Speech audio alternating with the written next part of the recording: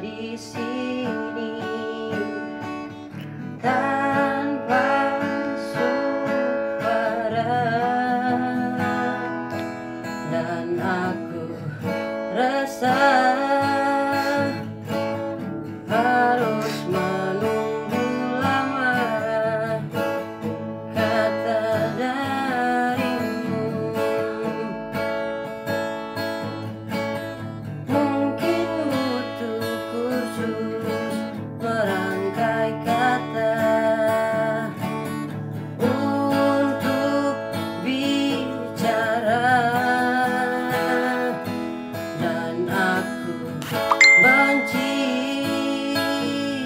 promise.